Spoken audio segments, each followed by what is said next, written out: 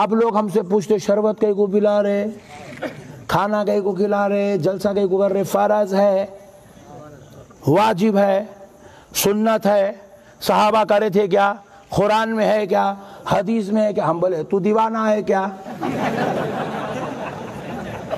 अल्लाह क्यों? अरे बोला दीवाने क्या इमाम हुसैन के नाम का शरबत पिलाना ये कुरान में कहाँ से मिलेगा? ये फ़र्ज़ कैसे होगा फ़र्ज़ तो वो है जो अल्लाह की इबादत है। शरबत पिलाना इबादत थोड़ी है फ़र्ज़ होने के लिए। और अल्लाह रब्बुल इज़्ज़त का कलाम कुरान मजीद कानून बताता है। हलाल और हराम जायज़ और नाजायज़ की तमीज़ कराता है। शरबत बना के पियो, उसमें दूध में काजू मिलाओ, चिरंजी मिलाओ, मेनू आइटम है। सवाल ही जाहिलाना सवाल है। शरबत को कुरान में कहाँ से लाएँगे भाई? मेंटली रिटायर्ड है नहीं है कौम? जरा बोलो आप। जो कुरान इंसान को उसूल दे रहा है, कानून दे रहा है, इन्हें पूछ रहा वो शरबत कुरान में है क्या? अरे तू हवला है क्या? शरबत कुरान में कैसा आएगा? अरे भाई। अच्छा फिर पूछे, शरबत रसूल अल्लाह सल्लल्लाहु अलैहि वसल्लम थे अरे दीवाना है क्या? रसूल पाक सलाम के जमाने में इमाम हुसैन की शहादत हुई। फिर रसूल अल्लाह के जमाने में शरबत कैसे निकलेगा? मेंटली रिटायर्ड कौम जो मुख आया, फिट करके डाल दिए। अब हमारा बेचारा पान डब्बे वाला भाई, ऑटो चलाने वाला भाई देखो जा रहा देखो। पूरा सुनता भी नहीं बीच बीच में चले आता। उन्हें पूछते कि रास्ते में एकदम स्टैचू बन जाता। अरे, सही बात है भाई। कम से कम आज तो पूरा सुनना, नहीं, है तो साल में एक दिन। वो बहुत देर बैठ गए ना, बेचे नहीं हो रही माल रहा है। दा के डाल लेगा तो सुकून हाँ। ऐसा है वो, अपने को सब मालूम, फार्मूले हो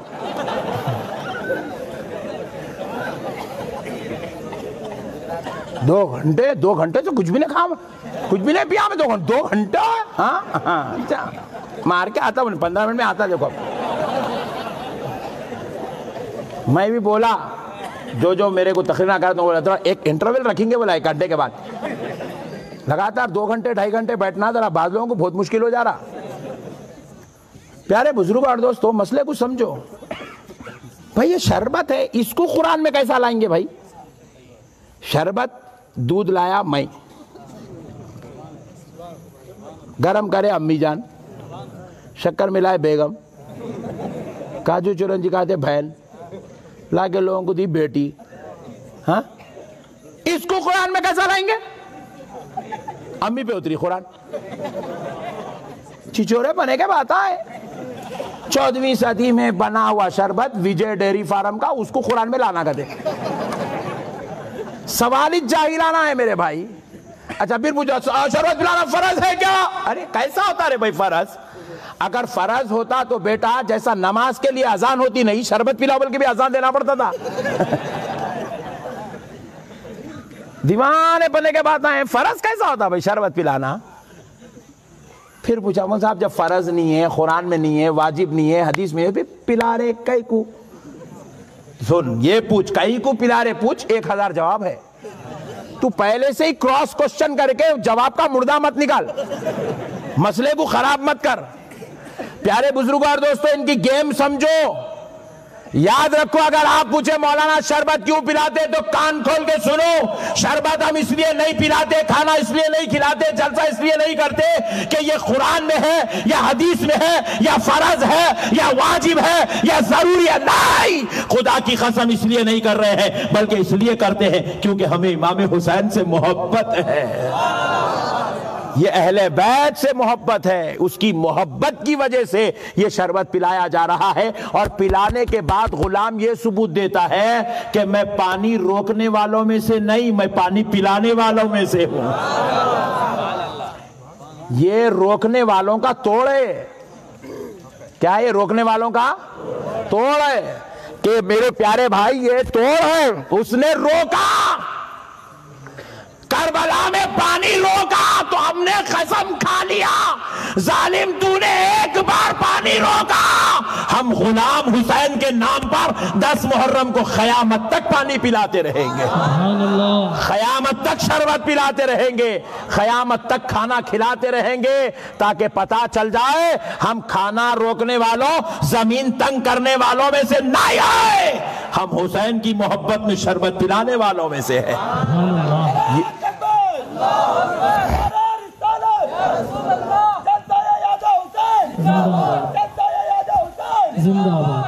ये यजीदियत का तोड़ है दोस्तों। किसका तोड़ है? यजीदियत का तोड़ है। मसलों को समझो, खाली आगे। अरे ऐसा नहीं है, कहते ना मौलाना, वैसा नहीं कहते बैटिंग करो, ये सब सवाल मत करो। प्यारे बुज़ुर्ग और दोस्तों, एक बार दरूद पाक पढ़ लें।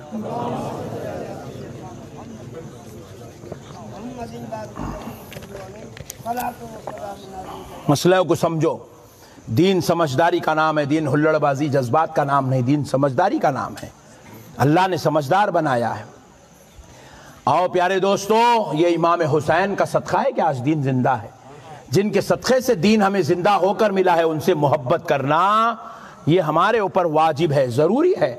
और ये जो शरबत पिलाते हैं, खाना खिलाते हैं, ये जलसे करते हैं, ये इमाम हुसैन की मोहब्बत का सबूत है। बिल्कुल अब तकरीर को बिल्कुल आखिरी मरहले में ले जा रहा हूँ, ताकि आपको अहल बैत की मोहब्बत का एक पैगाम दूँ। प्यारे दोस्तों, सुनो, ये अहल बैत अथार खुदा की कसम, इनका मुकाम, इनका मरतबा, इनकी शान देखो। अल्लाह ने इनको क्या मुकाम व मरतबा अता किया? और रसूल अल्लाह रसूल अल्लाह होकर सरकार सरकार होकर इनसे कितनी मोहब्बत फरमाते ज़रा गौर करके देखो। मौलाए कायनात अलीमरतज़ा रज़ी अल्लाह तु का निकाह हज़रत सैदा फ़ातिमतुज़हरा से हुआ। हज़रत फ़ातिमतुज़हरा से निकाह हुआ। हज़रत फ़ातिमतुज़हरा रज़ी अल्लाह तहा निकाह के बाद हज़रत अली के मकान तशरीफ़ ले गए हज़रत अली के घर। हज़रत अली का घर हुजूर सल्लल्लाहु अलैहि वसल्लम के हुजर मुबारक आपके बैत मुक़दस से बमुश्किल चालीस घर दूर था हज़रत अली का घर। बल्कि यूँ समझ ले, ये जो जलसा यहाँ शुरू है ना, यहाँ अगर सरकार का घर है तो जहाँ जलसा ख़त्म हो रहा है, वहाँ हज़रत अली का घर है। बस हज़रत अली और रसूल अल्लाह के घर के दरमियान में बस इतना ही फासला है बस। सिर्फ़ इतना फासला है। मोहब्बत बता रहा हूँ, हम लोग गुनागार होकर मोहब्बत नहीं कर रहे हैं। सरकार कैसी मोहब्बत करते थे इनसे? गौर करो प्यारे बुज़ुर्गों और दोस्तों, हज़रत फातिमा वाली का घर इस जलसे के अख्ताम पर है। और यहाँ रसूल कायनात सल्लल्लाहु अलैहि वसल्लम का मकान, बस इतना ही फासला है, नबी और अली के मकान के बीच में। नबी करीम सल्लल्लाहु अलैहि वसल्लम मजलिस में होते, जब कभी हज़रत फातिमा याद आ जाती। आकाए नामदार मदनी ताजदार सलाम के चेहरे की कैफियत बदल जाती। हज़रत अबू बकर उमर अर्ज़ करते या रसूल अल्लाह आप पर हमारे माँ बाप कुर्बान आका आपके चेहरे अकदस की कैफियत बदल रही है। फातिमा तो जहरा के ज़िक्र ने आपको आका फ़िक्र में डाल दिया। नबी पाक सलाम फरमाते हैं कि अली ए अबू बकर उमर जब से मेरी बेटी फातिमा अली के घर गई है मुझसे ये दूरी बर्दाश्त नहीं हो रही है। कोई चार समंदर दूर नहीं गई थी हज़रत फातिमा। कोई चार मोहल्ले दूर भी नहीं गई थी हज़रत फातिमा। छह फिट बाई छह फीट के चालीस घर के बाद हज़रत फातिमा का मकान है। उस जमाने में कोई पाँच पाँच सौ, हज़ार हज़ार गज, दो दो हज़ार स्क्वायर फीट का घर भी नहीं था। सिर्फ़ छह फीट बाई छह फीट। इतने छोटे हुजरे होते थे उस जमाने में। उतने चालीस हुजरों के बाद हज़रत अली का मकान। उतनी दूरी भी रसूल अल्लाह को हज़रत फातिमा की बर्दाश्त रसूल पाक सलाम इस बात का इजहार करते, हज़रत अबू बकर उमर ने गौर किया। कर कर उन्होंने क्या किया? हज़रत अबू अयूब अंसारी से मुलाकात की। कौन है अबू अयूब अंसारी?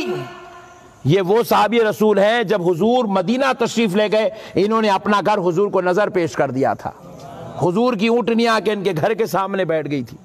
हुजूर इन्हीं के घर में रह रहे थे, हज़रत अबू अयूब अंसारी। इन्होंने हुजूर को नज़र कर दी थी। अब हज़रत अबू बकर उमर आए।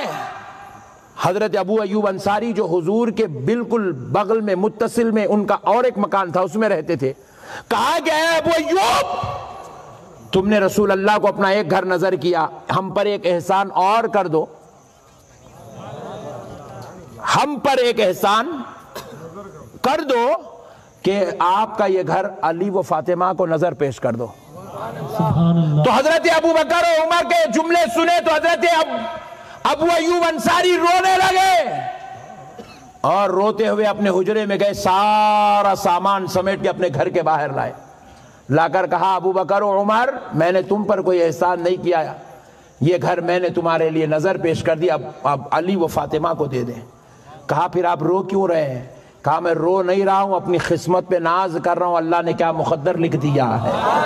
एक घर नबी को दिया हूँ दूसरा घर आले नबी को दे रहा हूँ। अल्लाह। ये कहते हैं अपना सामान उठाए। हज़रत अबू बकर उमर जाकर हज़रत अली व फातिमा से कहने लगे अली हज़रत फातिमा की दूरी हुजूर को बर्दाश्त नहीं है।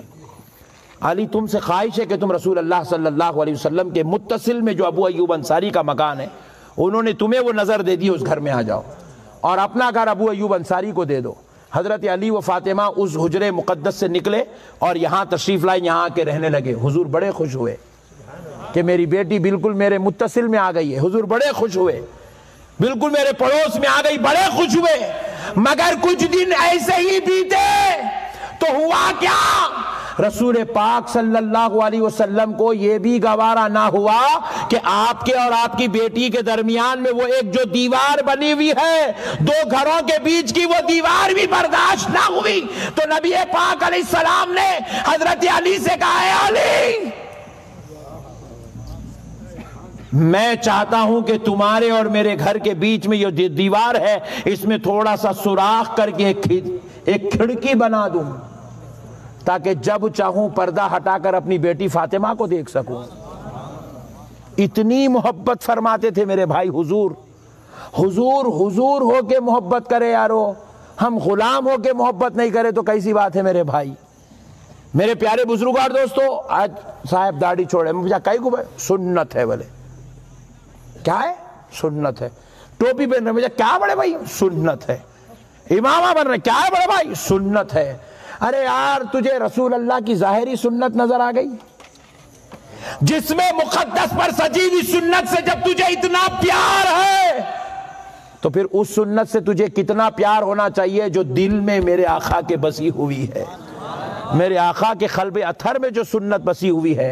मेरे प्यारे बुज़ुर्ग और दोस्तों, हज़रत फातिमा से हुजूर इतनी मोहब्बत करते। हम गुलाम है मेरे भाई, उनके बगैर हमारा चारा नहीं। हमारी बेटियों को हमारी माओ को हमारी बहनों को हमारी बीवियों को जन्नत में सैयदा फातिमत जहरा के साथ रहना है। तो रहना है तो दुनिया में मोहब्बत करना।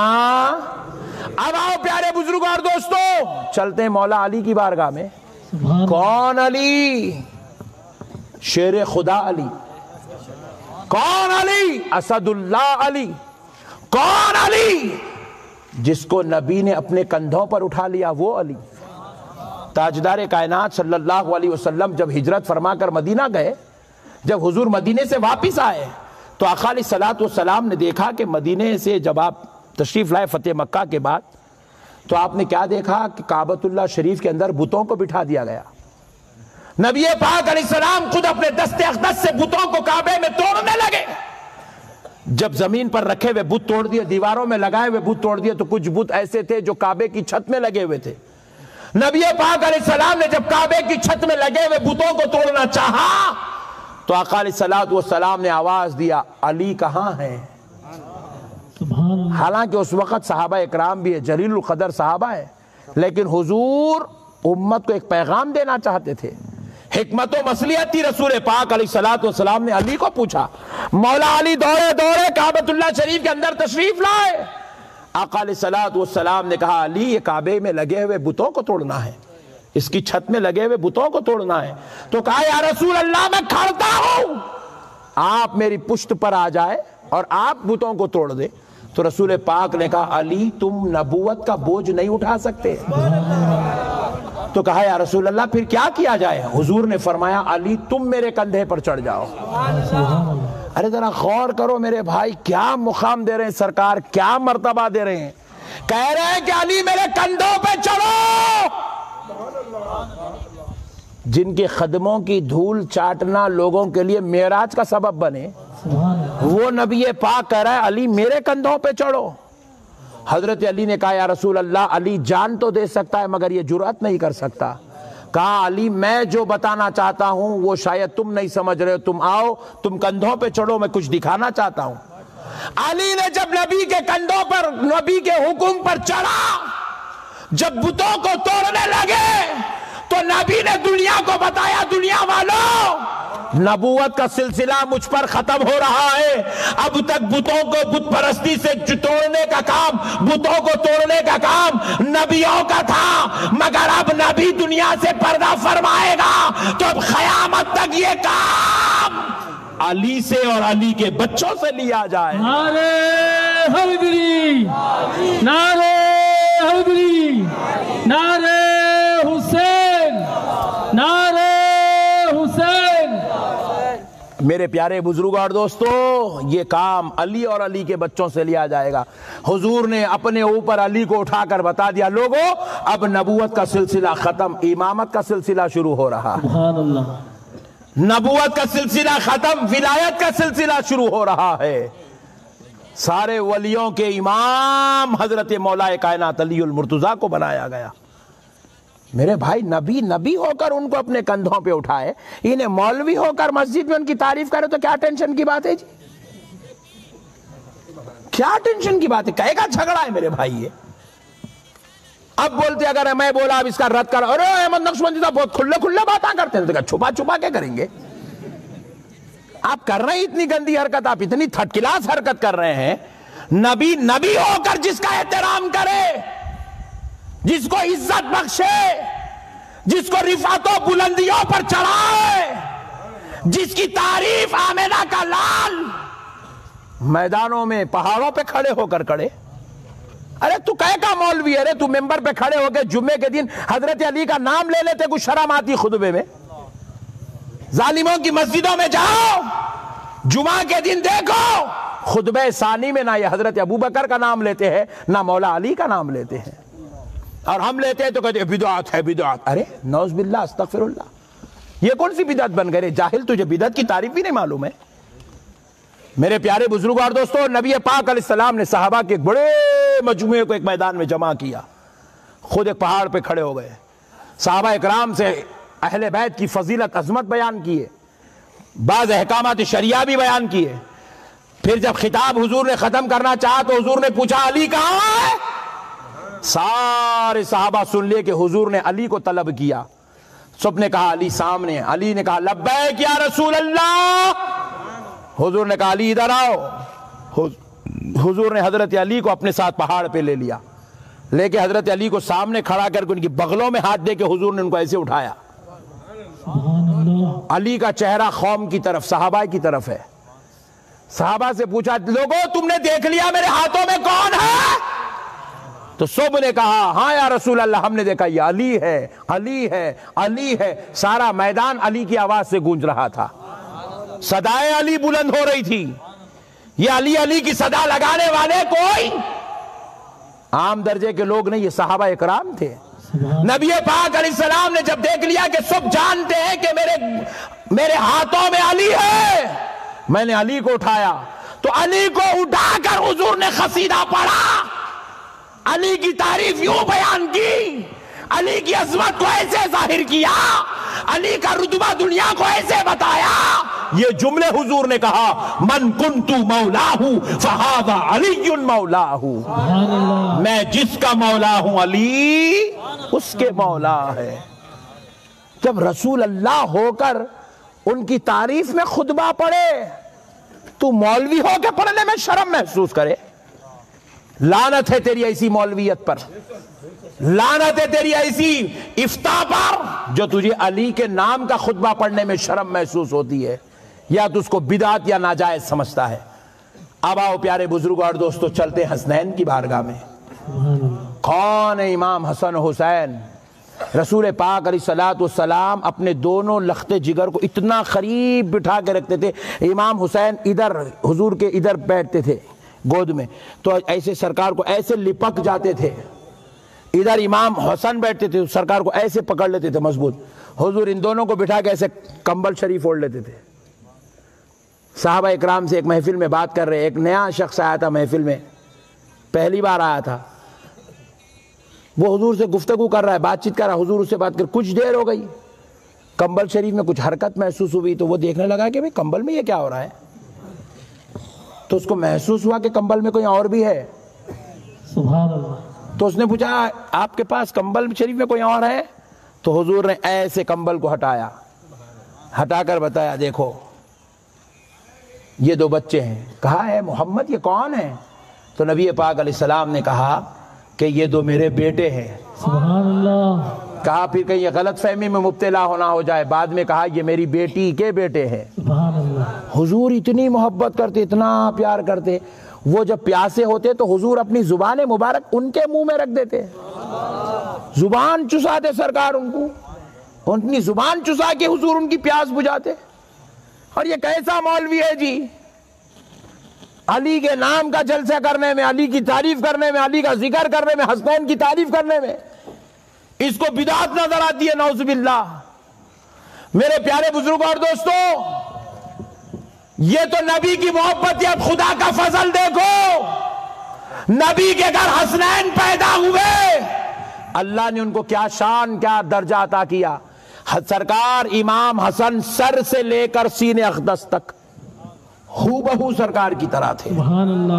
सीने अकदस से लेकर खदम मुबारक तक सरकार इमाम हुसैन हूबहू सरकार की तरह थे। ये शबीह मुस्तफ़ा कहा जाता है इन्हें। सरकार की शबाहत थी मिनवान। जब प्यारे बुज़ुर्गों और दोस्तों अल्लाह अल्लाह होकर अपने नबी की शबाहत दोनों में तकसीम कर रहा है तो गुलाम होकर कबूल करने में क्या टेंशन की बात है भाई? शरबत पिलाने में कह का झगड़ा जलसा करने में कह का एतराज़ कह का फितना कह का टेंशन। प्यारे बुज़ुर्ग और दोस्तों, आप जरा गौर करके सुने। एक शख्स मदीने पाक से कुछ मील की दूरी पर रहता था। बदमजहब था, काफिर था। सरकार की तारीफ़ सुनते सुनते सुनते सुनते सुनते सरकार का दीवाना हो गया था। आशिक हो गया सरकार का। अब ये ख्वाहिश आरज़ू लेके आया कि जितनी तारीफें सुना हज़रत मोहम्मद की, सल्लल्लाहु अलैहि वसल्लम। जैसा सुना अगर वैसा पालूँगा तो कलमा पढ़ के मुसलमान हो जाऊँगा। ये नियत करके मदीने को आया। आके एक सहाबी को पूछा, भाई, प्यारे नबी कहाँ हैं? क्योंकि वो उस वक्त हुजूर पर्दा फरमाए सिर्फ़ आठ दिन हुए थे। हुजूर के पर्दा फरमाने के आठ दिन बाद आया। पूछने लगा कि हुजूर सल, हुजूर मोहम्मद सल्लल्लाहु अलैहि वसल्लम कहाँ हैं? जैसे ही सुने सहाबी रोने लगे। रोने लगे।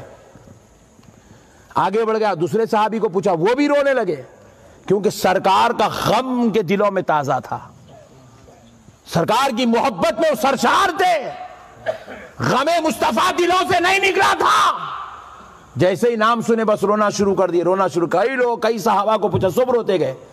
आखिर में एक साहबी रोते हुए हिम्मत करके कहा कि भाई, तू जिनसे मिलने आया है, मैं उनको तो नहीं मिला सकता, मगर उनके घर का पता बता सकता हूँ। वो देख, वो उनका घर है। वहाँ जाकर आवाज़ दे, शायद तेरा मसला हल हो जाए। वहाँ गया घर पे, वो किसका घर था? मौला अली का घर था। आवाज़ देने लगा, या मुहम्मदा या मुहम्मदा! मौला कायनात अलीउल मुर्तजा रज़ी अल्लाह दौड़े दौड़े भागे बाहर, तशरीफ़ लाए। कौन है जो हजूर का नाम लेकर पुकार रहा है? आकर देखे तो एक काफिर है गैर मुस्लिम है। मौला कायनात ने पूछा, भाई, क्या चाहिए? कहा कि मैं हज़रत मोहम्मद की बड़ी तारीफ़ सुन सुन के सुन सुन के उनका आशिक हो गया हूँ। और मैं यही नियत करके आऊँ, उनको जैसा सुना वैसा अगर पालूँगा तो कलमा पढ़ के मुसलमान हो जाऊँगा। मैं उनसे मिलना चाहता हूँ, मेरी मुलाकात करा दीजिए। अब ये सुनना ही था, अब मौला अली भी रोना शुरू कर दिए। इतना रोए इतना रोए कि मौला अली हिचकियों पे आ गए। अब उसके बाद मौला कायनात अलीउल मुर्तजा उस शख्स ने पूछा, भाई आखिर बात क्या है? जिससे पूछता बस रोता ही रोता है, रोता ही रोता है, मसला क्या है? तो मौलाए कायनात अलीउल मुर्तजा ने कहा, भाई सुन, तू जिनसे मिलने आया है, वो चंद रोज पहले इस दुनिया से पर्दा फरमा चुके हैं। अब तेरी मुलाकात उनसे नहीं हो सकती। ये जैसे ही सुना, हाथ लिया, पेशानी पे मारने लगा, हाय मेरी बदबख्ती, हाय अफसोस। मैं उस जाति अकदस से नहीं मिल सकता जिसका मैं इतना दीवाना हूँ जिसकी इतनी तारीफ़ सुना। बड़ा अफसोस करने लगा मलामत करने लगा अपने आप पर बदनसीबी पर कोसने लगा। उसी हाल में जा रहा था मगर ये दरे अली है। यहाँ से कोई खाली हाथ नहीं लौटता। तो हज़रत मौलाए कायनात अलीजुल मुर्तजा ने कहा भाई ठहर जा! तू जिनसे मिलने आया था मैं उनसे तो नहीं मिला सकता। मगर वो कैसे थे दिखा सकता हूँ। ये कहते हुए मौला अली ने अपने घर की तरफ़ पलटे। पलट कर कहा बेटा हसन इधर आओ। बेटा हुसैन इधर आओ। जब हसनैन करीमैन दौड़े दौड़े बाहर आए मौला अली ने एक हाथ में इमाम हसन को उठाया दूसरे हाथ में गोद में इमाम हुसैन को उठाया उठाकर कहे भाई इस बच्चे को देख ले। ये सर से लेके सीने तक हूबहू मुस्तफ़ा की तरह है। इस बच्चे को देख ले ये इसका सारा जिसम पूरा हूबहू मुस्तफ़ा की तरह अल्लाह अल्लाह अकबर। जैसे ही वो शख्स देखा बस देखता ही रह गया। कहा नवासों का ये हाल है तो जात अकदस का आलम क्या था होगा? कलमा पढ़ के मुसलमान हो गया। मेरे प्यारे भाइयों खुदा खुदा होकर उनको इस शान का मालिक बनाए। इस शान का मालिक बनाए मुबाहले के लिए दावत दी गई। रसूल अल्लाह से कहा गया कि मैं अपने घर वालों को लाता हूँ, तुम अपने घर वालों को लाओ। ईसाई पादरी ने बुलाया, रसूल अल्लाह अपना घर ले गए। किसको ले गए? मौला अली को ले गए, सैयदा फातिमा को ले गए, इमाम हसन को ले गए, इमाम हुसैन को ले गए। जैसे ही वो पादरियों ने, ईसाइयों ने इमाम हुसैन का चेहरा देखा मुबाहला छोड़ दिया कलमा पढ़ के मुसलमान हो गया। अल्लाह अरे अल्लाह जब अल्लाह होकर इनको इतने बड़े मरतबे दे रहा अपन मुल्ला होके मानने में टेंशन की क्या बात है मेरे भाई? हम तो गुलाम है इनके इनके नाना का कलमा पढ़ने वाले इनके साथ अपना हशर होने वाला है जन्नत में इनके साथ रहना है। अल्लाह के वास्ते है मुसलमानों तुमसे मेरी अदबन इल्तिमा है गुजारिश है ये बाज मौलवी बस ये कहते फिरते ये चंदे के मौलवी। ये ईसाइत के डॉलर पे पलने वाले, ये यहूदियत के रियाल पर चलने वाले, अल्लाह के वास्ते आप इनकी बातों में आकर अपनी आखिरत को बर्बाद मत करिए। आप मौला अली के गुलाम बनो, इमाम हसन के गुलाम बनो, इमाम हुसैन के गुलाम बनो अलिया अल्लाह से अटूट रिश्ता रखो। बस अब आखिरी हदीस पाक सुन लो, बात खत्म करता हूँ, ताकि किसी भी एंगल से बेअदबी कहीं दिल में दाखिल होने ना पाए। बस बिल्कुल बेअदबियों का दरवाज़ा बंद करने के लिए एक हदीस पाक सुनाता हूँ। मौलाए कायनात अली मुर्तजा रज़ी अल्लाह तु के ताल्लुक से कुछ मुनाफिकीन गलत बातें कर रहे थे। अहले बैत के ताल्लुक से कुछ गलत बातें मुनाफिकीन कर रहे थे। हज़रत अब्बास रज़ी अल्लाह तु ने सुना, और आकर रसूल अल्लाह सल्लल्लाहु अलैहि वसल्लम के दरबार में आकर कहा, या रसूल अल्लाह मुनाफिकीन, अली और अहले बैत के खिलाफ बदबख्ती बयान करते हैं। बदकलामी करते हैं। नबी पाक अलैहिस्सलाम जैसे ये जुमले सुने आकाम जलाल में आए, चेहरा सुर्ख हो गया, लाल लाल हो गया। उस जलाली चेहरे के साथ हुजूर ने खिताब किया। खिताब करके कहा, लोगों, सुनो! मेरे अली और अहले बैत के खिलाफ जो कोई बोलता होगा, मेरी अली और अहले बैत के खिलाफ जो कोई बोलता होगा, कान खोल के सुन लो! ये जुमला मैंने रसूल अल्लाह ने फरमाया है। वो तीनों में से कोई एक होगा। पूछा, रसूल पाक अलैहिस्सलाम से, या रसूलल्लाह, वो तीन कौन है? हुजूर ने फरमा वो इम्मा मुनाफिक। मेरे अली और मेरे अहले बैत के खिलाफ बोलने वाला मुनाफिक होगा। क्या होगा? मुनाफिक होगा। अगर वो मुनाफिक नहीं होगा तो दूसरे दर्जे का होगा। क्या? वह लिजिनियतिन उसकी माँ ने उसे जिना करके पैदा किया होगा। वो जिना से पैदा हुआ वो अपने बाप की नहीं किसी और की औलाद होगा जो मेरे अली और मेरी अहले बैत के खिलाफ बोलता होगा। अली के खिलाफ बोलने वालों को जिना के बच्चे होने का सर्टिफिकेट मुस्तफ़ा ने दिया है।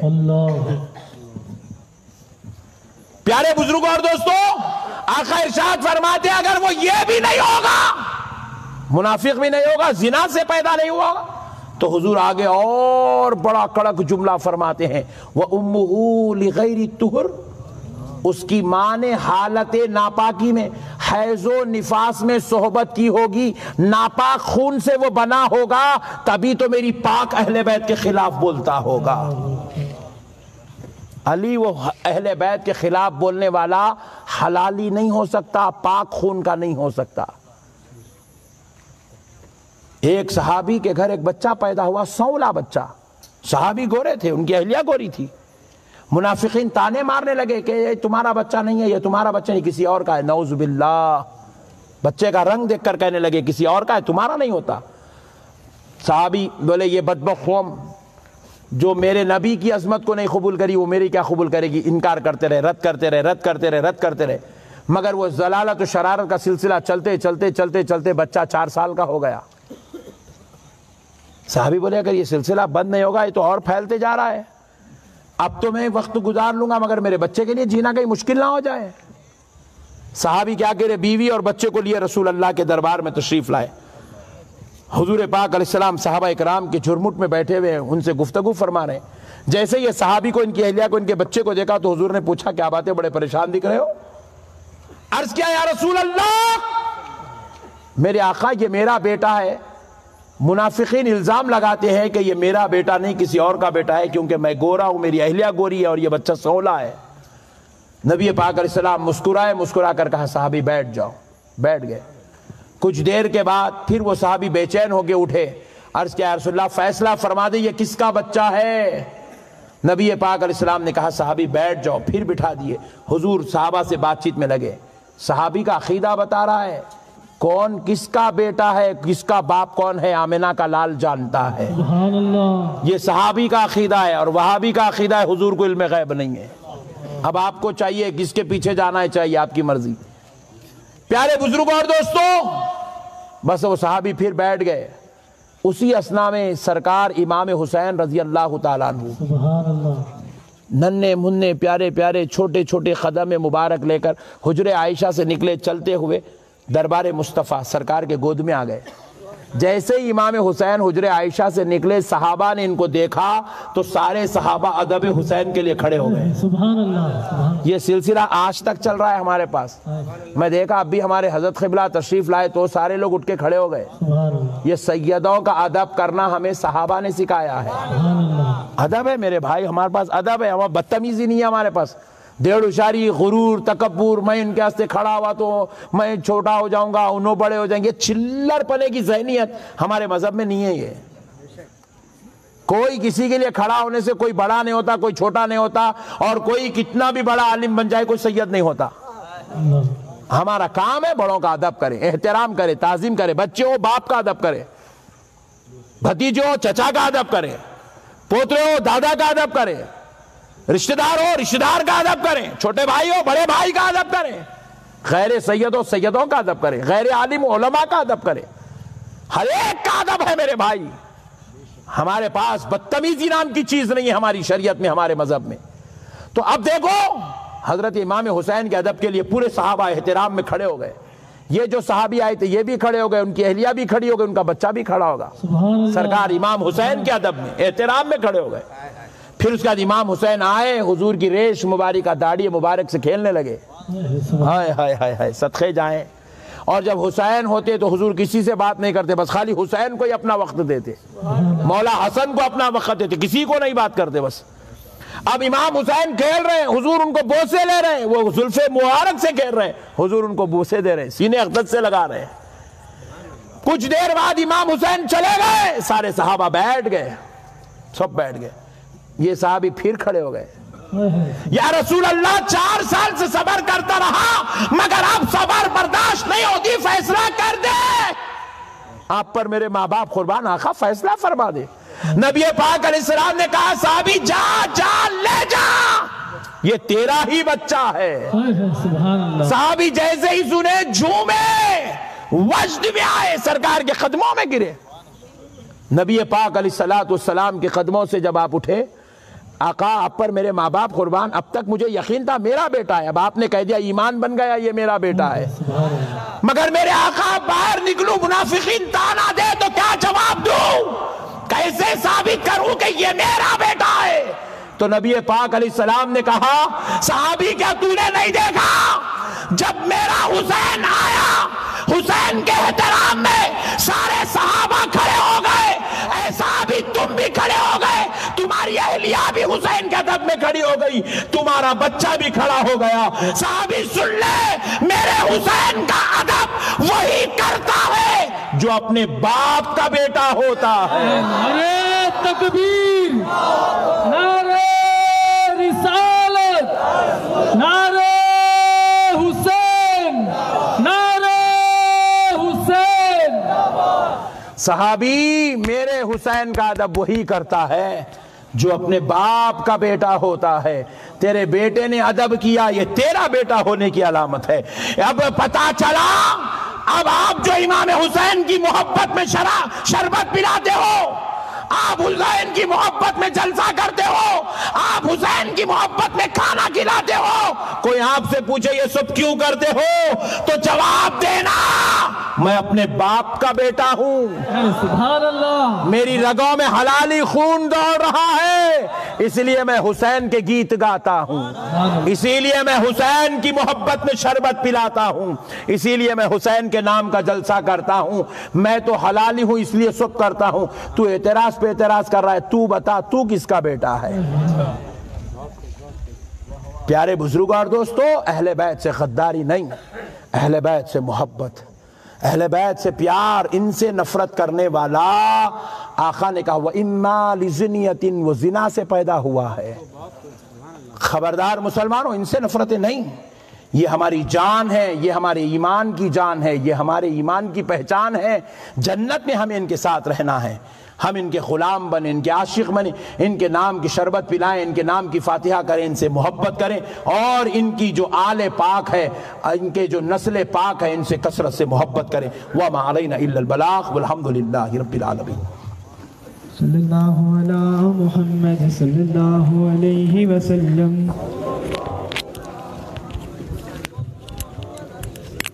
सल्लल्लाहु अला मोहम्मद सल्लल्लाहु अलैहि वसल्लम।